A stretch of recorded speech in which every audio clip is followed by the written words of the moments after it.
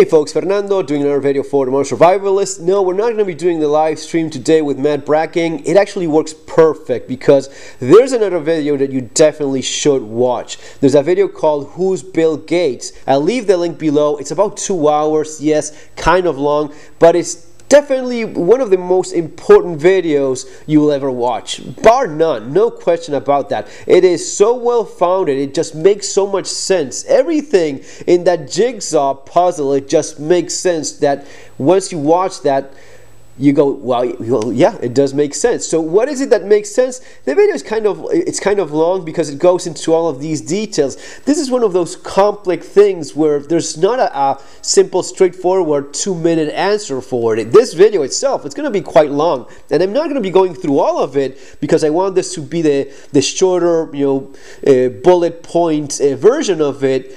But you have to watch it because it's not just Bill Gates. It's Bill Gates and people like him that are people you should be very worried about. Okay, and I mean this in the best possible way, man, because the title is not a clickbait. The title is actually true. Bill Gates is is trying to save the world in his vision of what the world should be, which doesn't include you. So let's get to it. Let's start with, again, I want to insist one more time. Watch this video, then go watch those two hours of Who's Bill Gates because it's packed full of information, clips, mainstream stuff, mainstream media stuff just organized in such a manner that you finally understand. Why is this guy doing what he's been doing? Why is he, is he pushing for the things he's pushing? 90, percent of the time he's actually quite honest about it. It's just that people don't see the complete picture. So let's start by maybe one of the things that will help you eh, understand all of this. Who is bill gates? Well bill gates is not who you think he is. If you're like me you probably think that bill gates is what? Like a, a, a computer geek guy didn't finish college college because he was so smart with computers and he started Microsoft in his basement, in his mom's garage or whatever. That's the, the, the kind of bullshit you've been fed. I've been fed as well. I believe that for a very long time. Well, that's actually not true. Bill Gates is, comes from a very extremely wealthy family. His, his mother is a, a, very wealthy banker. His father is a very well or you know very wealthy lawyer. Um, so he's the, the child of, of an elite banker and an elite lawyer. So the story goes that no, none of the bullshit you've been fed through this mainstream media is actually true. That's that's just part of the the the story they made up. Um, Bill Gates made the, the fortune he did with, with Microsoft when he took what was being publicly available and found a way of monetizing what a bunch of, of computer geeks and nerds were actually doing already for free thanks to his mother who got him the big uh, first push with IBM. That was a direct order from Bill Gates' mother, banker, to IBM. You have to work with my son. You're going to be working together. You're, you're going to be making him uh, uh, uh, a very famous rich person. And his father, who was fundamental in finding a way of making all of this legal, of finding a way uh, of monetizing and putting in a legal frame so as to have royalties over what was, up until that point, basically publicly available stuff. He's not the computer genius you probably think he is. He is, though, very, very greedy, and he is, though, uh, an elitist on its you know most purest form. Um, and this is where there's maybe a, big difference as of what he believes he's doing in terms of what Bill Gates believes to be saving the world and the, the world he sees and who you are and what most of us actually are. We are not in that picture of Bill Gates' ideal, perfect, saved world. So it, it goes back to you know, th there's probably a, very good psychological explanation for the, all of this, and it goes back to his father, who was part of the eugenics program back in the day in the United States. Then, because of how negative a connotation that has, it was relabeled. I wrote this all. It was very fascinating to to read this, but it was relabeled as transhumanism. You know, basically just because of the bad press that eugenics you know has uh, but basically the idea that some people are simply better than others some people should reproduce in larger numbers than others this isn't anything that bill gates hasn't said himself like a, a thousand times in, in terms of third world people should not be reproducing as much as you know well he, he's maybe not saying the part about they shouldn't be reproducing as much as I do, but that's implied in basic human nature. You do believe you have a right to exist. If you don't believe that um, the world is better off with you in it, you probably take that you know final decision that some people that commit suicide end up going with. So if you're still here, then you believe that there's a, a reason why you're here and you have a right to be here. Now, when you're telling other people that they shouldn't be here, well, that's where uh, all of this starts making sense. So one of the things I, I didn't quite understand was how all of this philanthropy thing with um, Bill and Melinda Gates Foundation, you know, saving the world from poverty and, you know, big pharmaceutical companies being there in the mix, but this is all what nonprofit? Well, not so much. Bill Gates himself says, and he actually gives you an accurate number. In the last 10 years, I think Bill Gates has doubled his fortune. And when asked about how good of an investment it is, uh, he was mentioning about investing 10 billion in in the new health uh, endeavors that we all know of in this last year. There's a, a, a nice little clip where he says that he's getting a return of investment of 20 to 1 when it comes to pharmaceuticals. So when all of this seems to be so charitable, so you know, out of the pure heart or whatever um, uh, idealized um, thing that comes to mind when you see like all of all of this philanthropy going on. You know, such you know these billionaires are so philanthropy, you know, inclined. They just want to save the world. Yes, there's a little bit of that in terms of saving the world. At least they. It, see it themselves. There's also a matter of making a bunch of money out of it. Bill Gates Bill Gates says it himself. He says that he's getting a, a 22 1 return of investment. So if he's investing 10 billion bucks, he's going to be getting 20 to 1 on that. that. That's a nice that's a nice number. But then it, it gets very weird in terms of how is it that some of the stuff that he's been doing in India with a company called uh, Aadhaar, which is a, a uh, a company that is basically looking to integrate uh, some of the uh, biometric ID stuff in terms of your, your finances, your money, the, the credit you access, the, the, the benefits you get. How is it all that mixed with the, the pharmaceutical aspect? So it's a, um, a, a drive for the, the, the, pharmaceutical aspect, getting everyone um, vaccinated and such, and in terms of uh, getting the biometrics, has to make sure those um, medical uh, needs that you may have are being covered? Uh, how is it that integrated into all the financial aspect? Well, he has a company called Gavi, which Gavi went from, from vaccination, that was their very big push,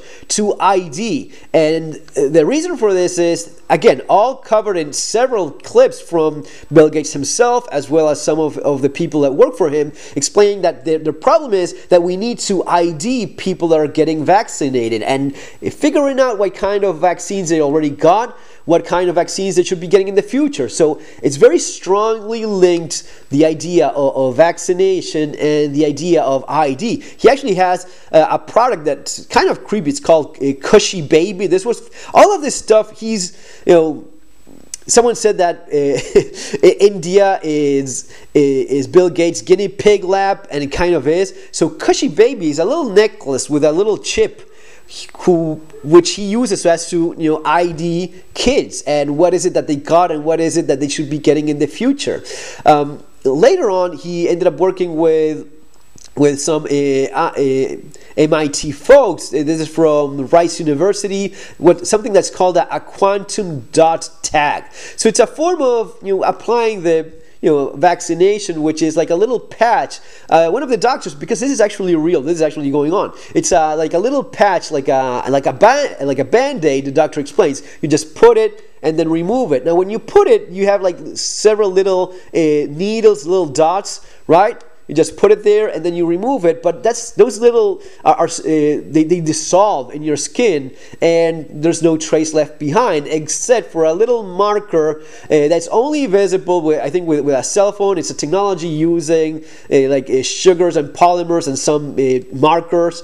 But basically, it's something that can be read with yeah it's something that can be read with, with a cell phone to id that person and you know understand what kind of medication that person has has been receiving and should be receiving in, in the future Uh, but this Gavi company is the one that mixes the, the pharmaceutical stuff, the vaccination stuff with the ID stuff. But then he goes on, and this is another company that he has going on in in, in India, the uh, Aadhaar company that is using this form of ID uh, at a, at a government level. So this form of ID goes beyond medication, vaccine, and all of that. It goes into the territory of financial stuff payments. So it ends up being that it, you end up in that big mix of, of vaccination what's being pushed very strongly these days the idea of, of uh, having an, a, a, a, vaccination passport a vaccination id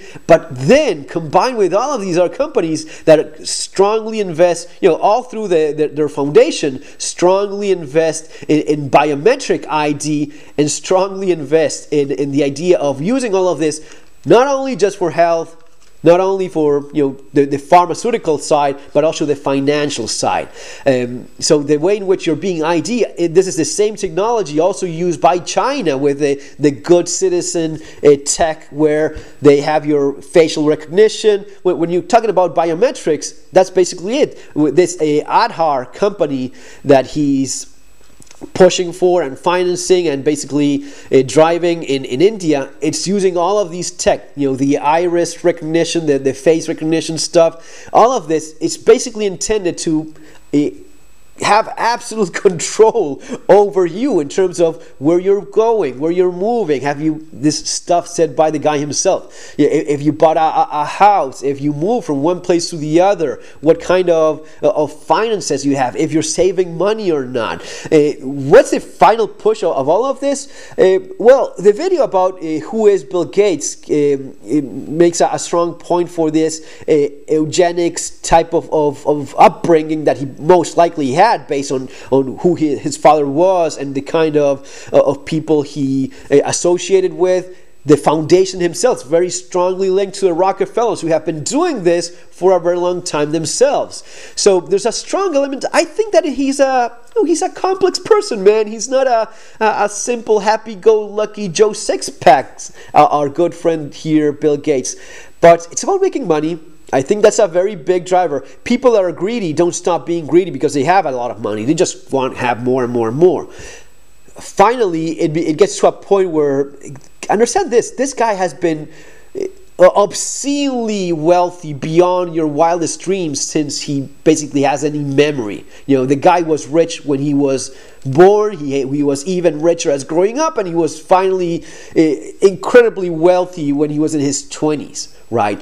Uh, the kind of personality that he has, the kind of uh, of of drive that he has, he just want to keeps having more money. The company is making more money. Bill Gates himself is twice as wealthy he is right now than he was before. And as he said it himself, his own words, 22 1 return of investment when it comes to, to all of his uh, philanthropic endeavors in terms of, of, of medical, healthcare, pharma, uh, you know things he's pushing for. So this idea that it's all all charitable, all just no, that, that's not so much. But there's also maybe a little bit of a darker element. There's a part where he's being, uh, he, he's talking about, well, if someone is about to die and he has three years to live and costs X amount of money, would that money be better invested in putting someone else through college or, or putting 10 people through college? And he makes this face, this, this little face thing. And there's a lot that you can get from uh, body language and, and the way this, this, it's very hard to describe, but you get an idea of, yeah, he actually thinks that. He actually thinks that, well, yeah, makes sense to not invest that money in a guy that's going to be dying in the next two, three years and put that money into, you know, 10 guys, putting those guys through MIT or whatever. In his mind, that, that's perfectly, maybe for you it is as well. Beyond that, he is of the kind of, of person that I believe, this is just a, a supposition of mine, I believe that there's a lot of of uh, indicators out there that he doesn't believe that people from the third world should be reproducing as much as they should. And maybe, maybe it's not just my, my opinion. This is actually facts and based off lots of his investments and lots of the things that he's been very much pushing and investing uh, enormous amounts of money in, in, the World Health Organization and in the United Nations. All of this basically has to control how much people uh, are are being born in these countries where he's absolutely certain that they should not be. These people should not be getting, you know, reproducing in, in these numbers. They he believes that has to be controlled. Um, but it doesn't apply to him and it doesn't apply to people like him. It doesn't apply to the elite and the super wealthy. Those are the kind of people that should be reproducing themselves as much as possible. And going into that, there's the, the final part of the video where, where they, they mentioned the link that Bill Gates tried to deny, but there's a, a lot of solid information regarding that. And this is not, you know, from any weird site. This is from the, the New York Times where they, they mention how he tried to get rid of the association between him and, and Epstein and uh, Epstein's uh, ranch in New Mexico, where he wanted to have 20 women impregnated with his own DNA because that was his way of making the world better.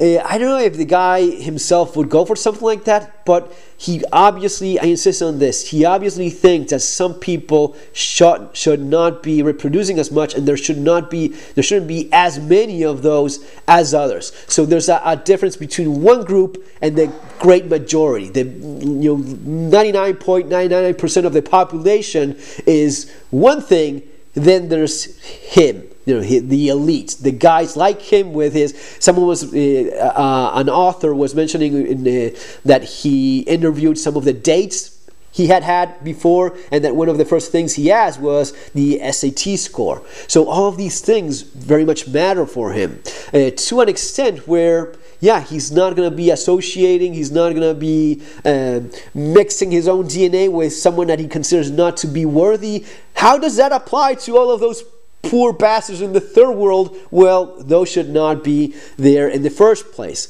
Um, it's a bunch of things. I think that the, the more concerning thing is uh, not so much the eugenic stuff, not so much the transhuman, which is the new way in which people are calling uh, eugenics now stuff, but the stuff about absolute control over people. One of the things that is not being mentioned in the video who's Bill Gates, which I, Ian says you have to watch, but it's not being mentioned, and that's why, why I'm doing my own version of this. Uh, not nearly as good, of course. I insist that is you know fantastic. Go watch that.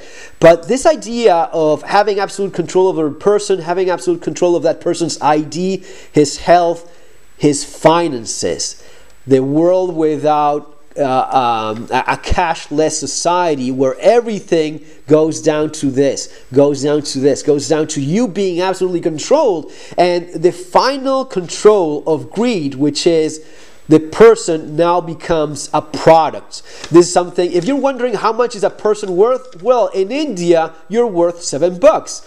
That's what the price it's going for uh, of all the information collected by uh, Aadhaar, you know, the, the, the, the one of these projects uh, associated and you know financed by, by Bill Gates himself. The data collected on all these people is being sold for seven bucks. You can access the, the information of everyone they have for that amount of money. Now, seven bucks buy what? Uh, how, how many of these are, are being sold? Uh, how much is that being monetized? What kind of information you're buying with each of these? Uh, how much detail you're getting? Uh, I assure you, they're not going to be selling it for seven bucks to some of the bigger uh, uh, companies where the the the amount of of uh, artificial intelligence uh, info, information gathering that they can do is amazing in terms of live control of each product you, you bought, where you're going, what kind of income you're having. All of this it, it can be monetized in ways that you, you wouldn't believe. You know, it is it is, is something that we you probably figured this out when when you mention like Facebook, you know the, the shady stuff, you, you know the lack of privacy, the the, the, the making a, person into a product. You associate a lot of that to uh, firms like you know big tech like like Facebook and such.